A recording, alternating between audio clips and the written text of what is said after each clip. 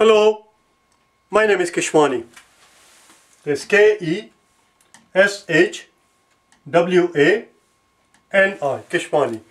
We are here because we want to prepare for the GRE. We have been solving GRE math problems out of this book here, the official guide to the revised GRE, the second edition. If you do not own this book already, purchase one immediately. You're going to need it. We are finished, we are almost finished solving all the problems from this book. If you're interested in watching the solutions to any of the math problems, you will find the solution from day number 251 through 400. This book contains almost all the same problems and in most cases exactly on the same page numbers as the ones that appeared in the first edition of the revised GRE. We have finished every single math problem from here. In the event that you are interested in watching the original solutions to the problems, you will find the original solutions from day number 1 through 250. Original day number 1 through 250. Original problems tend to be a little bit lengthy, they little bit, little bit, they tend to be a little bit in depth. Right now, we are in the process of solving quantitative comparison question, quantitative comparison questions out of this book here, the 10th edition of the General GRE, the old version, because the other two books that I just showed you simply do not contain enough quantitative comparison questions. Quantitative comparison questions are still present in the new exam, the revised GRE, and they are a big chunk of the exam to, to get some extra practice. From day number 401, we started solving quantitative comparison question, and right now we are on page number 207. Please turn to it. Page number 207, problem number 10, the penultimate problem, the second to the last problem on the page. Let's take a look at it. Let's take a look at it. I need to fix this thing because I keep erasing, uh, I keep forgetting to, to take care of it. Quantitative.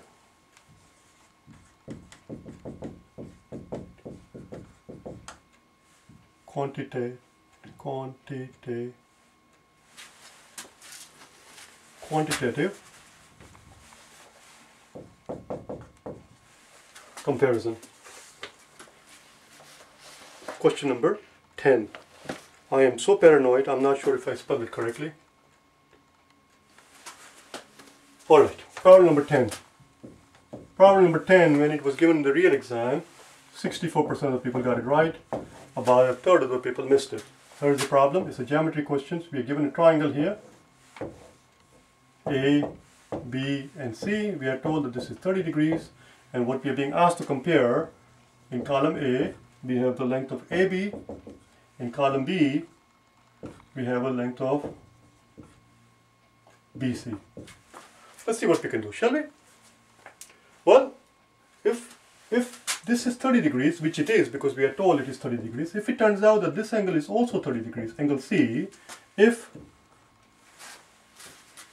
if it turns out, if it turns out that angle C is 30 degrees, if it turns out the angle C is 30 degrees, and this is 30 degrees, this is 30 degrees, it's an isosceles triangle, this side will equal to this side. In which case, AB will equal BC, in which case the answer would be C. On the other hand, if it turns out that this angle is more than 30 degrees, if it's 40 degrees, let's say, if, if it turns out that angle C is more than 30 degrees, then we know that the larger angle will force, face a larger side. Larger angle the larger angle will face a larger side. In a triangle, in a triangle, the opposite sides and angles are proportional. We know that. In a triangle, in a triangle, opposite sides and angles are proportional, meaning that the largest side faces the largest angle, the smallest side faces the smallest angle. So if this happens to be 40 degrees, then the side AB in this case, the side AB, if, if, angle C happens to be more than 40 degrees, this symbol is for angle, and this angle is greater than sine. Say angle, if angle C happens to be more than 30 degrees, then AB would be longer than BC. In which case, the answer would be A. As far as the exam is concerned, we are done. We are done because we're getting conflicting answer. The answer is D. Let's look at one more scenario here. If it turns out that if angle C, if angle C is less than 30 degrees, let's say the angle C is only 10 degrees, if angle C is only 10 degrees, if angle C happens to be only 10 degrees, then of course 10 degrees will face a very small side, in which case AB would be less than BC. in which case the answer would turn out to be B. And because we are getting conflicting answers, the answer is D. The answer is D because we don't know what this angle is. Without knowing angle C, without angle, knowing angle C, we cannot compare AB versus BC. We have to know the measurement of angle C, and there is no way in this problem to figure out the measurement of angle C because we don't know what angle B is. That's all. The answer is B. Let's move on then. Next problem. Problem number 11. Problem number 11.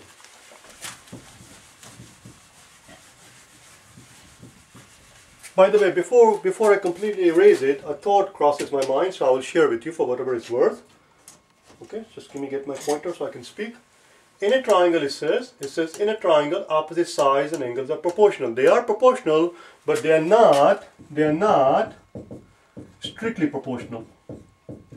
Not strictly proportional. Do you understand? What does it mean for two variables to be strictly proportional? What we mean here, what we mean here by saying that they are not strictly proportional, opposite sides and angles are not strictly proportional. What we mean here is this. Say for example, let's take a very simple scenario, very simple case of a 30, 60, 90 triangle. As we can clearly see, as we can clearly see, this side is the smallest side. Let's call it A, B, C. A, B, C, this side AB, uh, this side AC is the smallest side as we can clearly see. Smallest side will face the smallest angle. Will face the smallest angle. Let's say that this is 30 degrees. The largest angle here is this angle, which is the right angle, which is 90 degree, which is the largest angle. In a right angle triangle, 90 degrees is the largest angle, and that angle will face the largest side. A, B to C is the largest side. And, and here, this is 60 degrees. This would have to be 60 degrees. If this is 30, this would have to be 60 degrees. And that's the medium size. It will face the medium size, which is AB. What we're trying to point out is that the largest angle faces the largest side, the smallest the smallest angle faces the smallest side, angle B faces the angle, angle B faces side AC, which is this, which is the shortest side, because angle B is the smallest angle, and angle angle A faces side BC, which is the longest side, because it's the hypotenuse. They are proportional. The opposite sides and angles are proportional, but they are not, which means that if up, up, opposite side and angles are proportional, which means the largest side faces the largest angle, the smallest side faces the smallest angle. They are proportional, but they are not strictly proportional. And this is what we mean by strictly proportional. Okay, I'm going to erase all of this thing so that we have some room to talk about. Oh, let's, let's, start from scratch.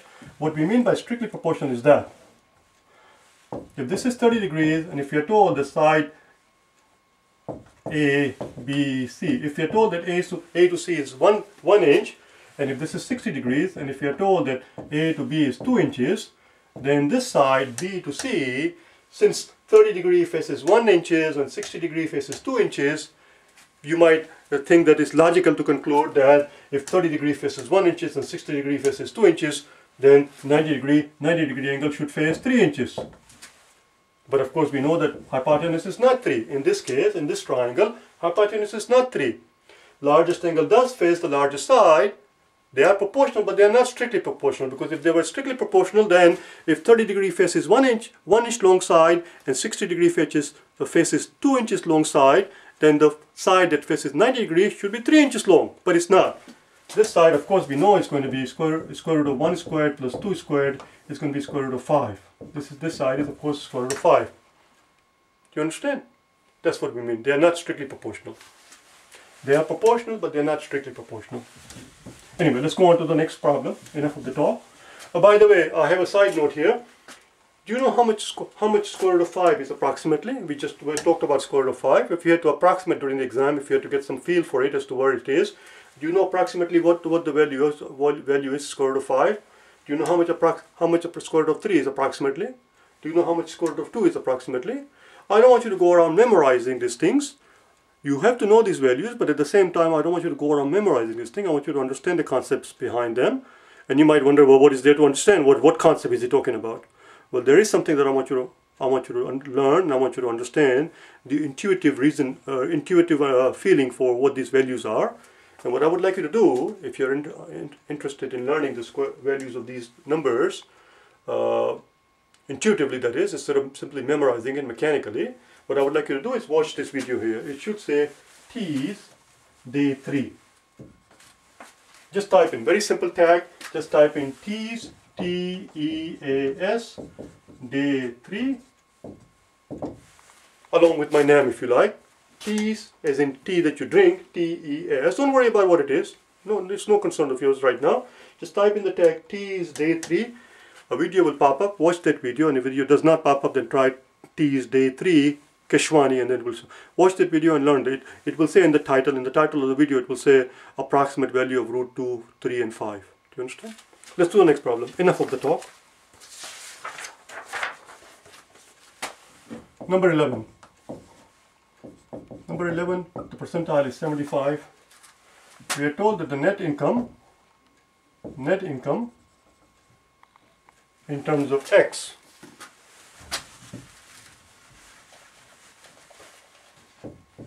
in terms of x which is the net, net income net income in terms of x which is the number of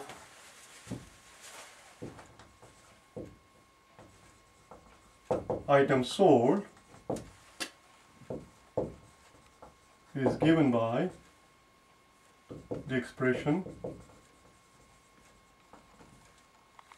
x squared plus x minus 380 x squared plus x minus 380 this expression here when you put in when you when you put when you when you put in the value of x which represents the number of units that are sold or produced number of units sold it will give you how, it will tell you how much profit you're making at that at, at that sale, uh, sales level. Do you understand? The question is this. The number of items that must be sold column A is number of items that must be sold for net income to equal 0 and in column B and in column B we have 10 10 versus the number of items that this firm must sell in order for their net income to be zero. I want you to pause the video at this point, solve the problem yourself, and then continue after you've done the problem yourself. I'll give you two seconds to do just that, to pause and unpause.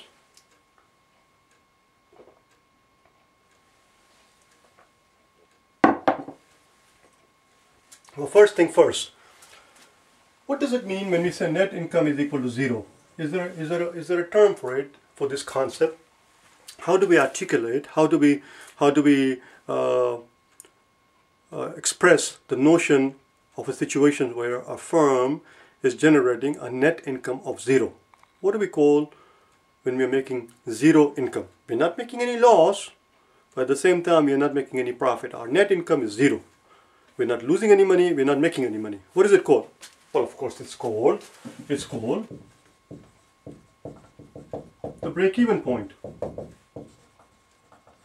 That, by the way, was just a side note. it has nothing to do with the problem. That's what it is. It's a break-even point. That's, that's what we have to figure out. What is the break-even point? Now, listen very carefully, very carefully here. One way to solve this problem, the classical way, the orthodox way, the traditional way, the academic way, the algebraic way, is to actually set up set up this expression, which is a very straightforward, which may seem very straightforward and logical way to do, which is to set up this expression equal to zero and solve this quadratic equation.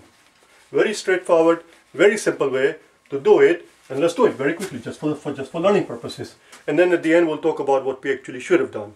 So let's set it up. So we're looking for two numbers when we so that when we multiply them we get negative 380 we're looking for two numbers such that when we multiply them we get negative 380 and when we add two numbers when we add these two numbers we get a positive 1 we get a positive 1 can you think of two number two such numbers? So that when we multiply them we get 380 when we when we add them we get positive 1. In other words, we are looking for the factors of 380. We're looking for factors of 380. Now if you go it this way to figure out the factors of 380, you will be there forever. The smart thing to do, if you're looking for factors of 380, if you're looking for factors of 380, the smart thing to do is to break it up into two parts, 38 and 10. 38 and 10. Divide this by 2. How many 2's in a 3? 3 has 1 2. The remaining one goes and joins the 8 becomes 18. How many 2's in 18? 18 has 9 2's. So we get 2 times 19 equals 38 which makes perfect sense. And here we have 10 which can be broken up. Actually we don't have to break it up. That's what we are done. The two numbers that we're looking at, the two numbers that we're looking for, where can I put it? I need the room. The two numbers, the two numbers that we're looking for are such that, such that when we when we multiply them, when we multiply them, we get negative 380. And when we add them, we get positive 1. Can you find what those two numbers are? They are right there in front of you. The two numbers are 19, 19 and 2 times 10. 2 times 10 is 20. There you go. 20 times 19 is 380. Now we need, we need a negative sign here which means we have to decide whether the negative goes here or negative goes here. And that will come from the fact that when we add them we get a positive 1. We need, we need a positive 1 which means the larger number has to be positive. There you go. Positive 20 and a negative 19 will give us positive 1. Do you understand? So that's how we're going to break it up. Let's do it on the top because we need the room obviously. Let's do it on the top. So x squared plus x minus 380 equals 0 which means x squared plus 20x minus 19x minus 380 equals 0 if we look at these two terms, if we look at these two terms, we can take out the factor of x common and we get x plus 20, x plus 20 because obviously x times x gives us x squared and x times 20 is going to give us our 20x. Now we look at these two factors, negative 19 and negative 380, we can take out negative 19. Once we take out negative 19, we are left with x from here. And once we take out the negative, this negative comes out, it becomes positive, and 380 divided by 19 is positive 20, 0. Now we look at this part here, x plus 20 is a common, common factor in these two quantities. We take those out. We take those out, x plus 20 and x minus 19 equals 0. That implies that x has to be either negative 20. That implies that either, either x plus 20 has to be 0 or x minus 19 has to be 0 because we have two quantities we have two quantities x plus 20 and x minus 19 and we are told that the product of these two quantities is 0. If the product of two quantities is 0, if a times b is 0, then either a is equal to 0 or b is equal to 0 or perhaps they are both 0. That's what it is. Either x plus 20 is equal to 0 or x minus 19 is equal to 0 or they're both equal to 0. If x plus 20 is equal to 0, that implies that x is equal to negative 20 and or x is equal to positive 19. Voila because we're talking about the number of units sold, we're talking about how many units the company needs to sell in order for them to break even, we cannot sell negative 20 units. We cannot sell negative 20 units, so the negative root is of no consequence to us. The answer is they need to sell 19 units to break even. They need to sell 19 units to break even. And the problem was, problem was like this. Here was the column, column A, here was the column B. Here we had number of units, number of units to break even and here we had 10 we just found the number of units they need they need to sell in order to break even is 19 so we have 19 versus 10 the answer is A. There you go. Okay?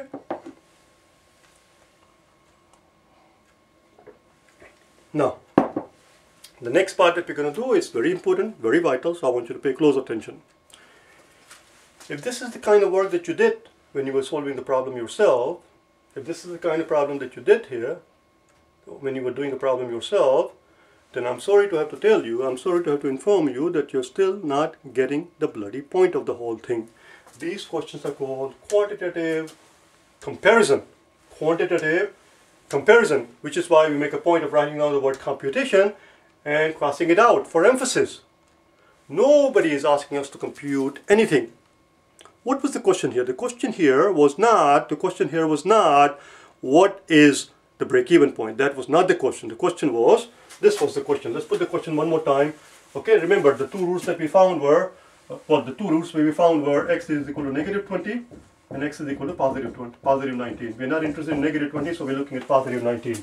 We can erase all of this thing, it's gone. I'll give you a second to give you an unobstructed view here. Alright, here was the question. The question was this. Actually, it's right here. Column A, number of units to break even. Column B, 10. So what is this question asking? If you look at this question, column A says how many number, how many units do you need to sell to break even versus 10. What is this question asking? This question is not asking how many actually units do you need to sell to break even. That is not the question.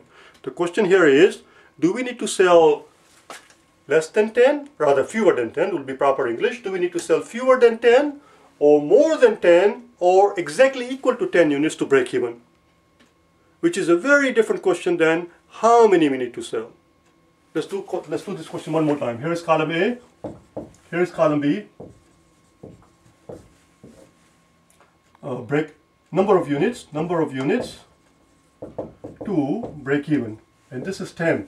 And the expression that was given to us was x squared plus x minus 380 equals to 0. I believe that, that's what it was.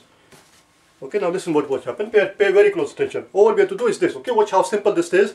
This question we, that we've been at it for like last 10 minutes should take actually in real exam, in real exam, without exaggeration, should not take more than 30 seconds. 30 seconds is being too generous. It should take about 10 seconds.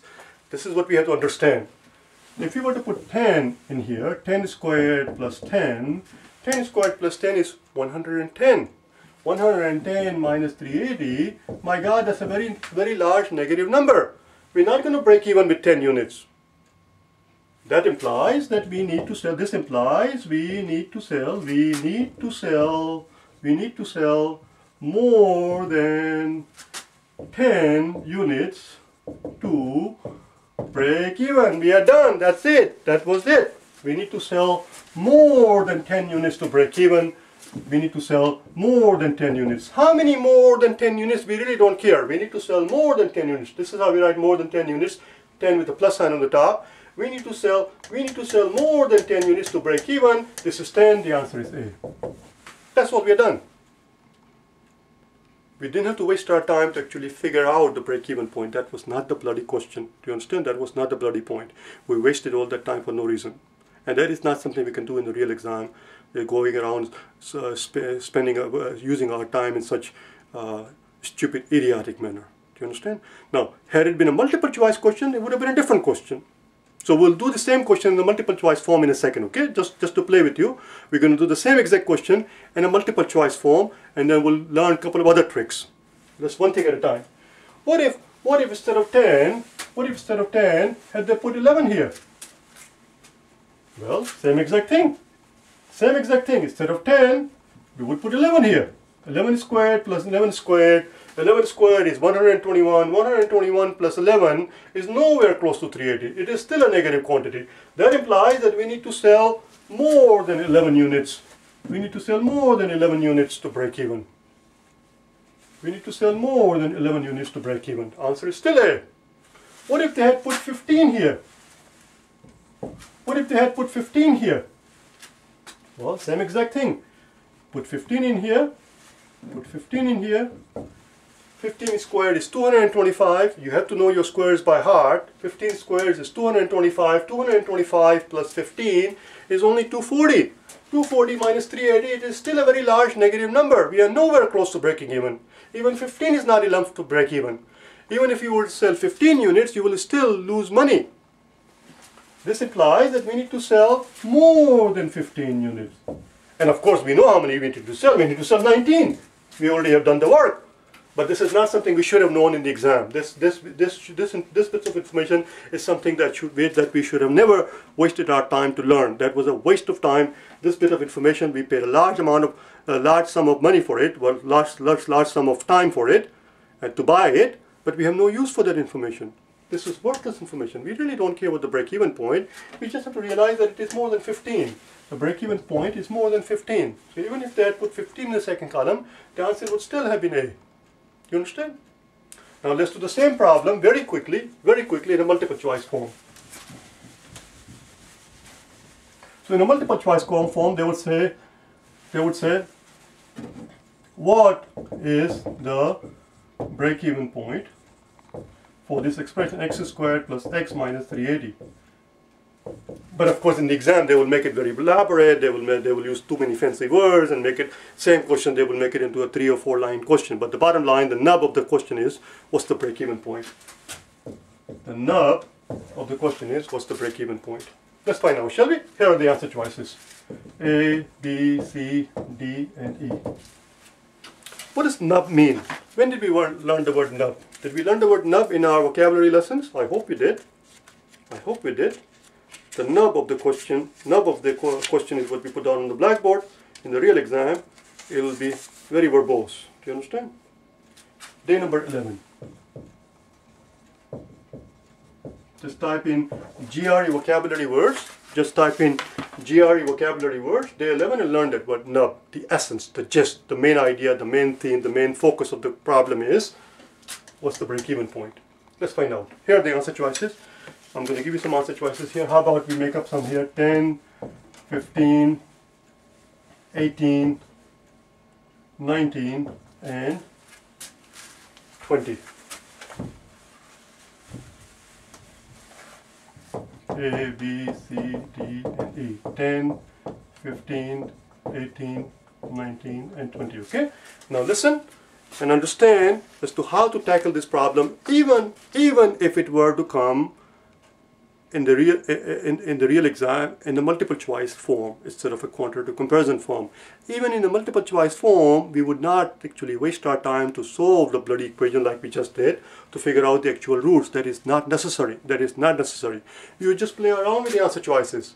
It only takes few seconds. It only takes a matter of two or three seconds to realize that 10 is too small. It's just too small. 10 squared plus 10 is nowhere close to 380. We just did that.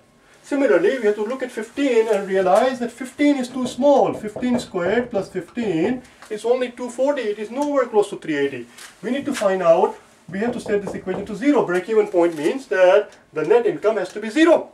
Question is, what's the break-even point? Which is, which means, what's the net, uh, or how much do you need to produce in order for the net income to be zero? And net income is given by this expression. So we set up this expression equal to zero, and we solve this equation. As you can see, 15 squared is 225, 225 plus 15 is 240, it is nowhere close to 380. 15 is too small, 10 is too small, 15 is too small. I'm not going to worry about 18 and 19 because 18 and 19 is a very cumbersome calculation. I'm looking for the easy answer choice right, uh, easy answer choices right now. Do you understand the numbers that are easy to work with? The next number that I see that is easy to work with is 20. Watch what happens.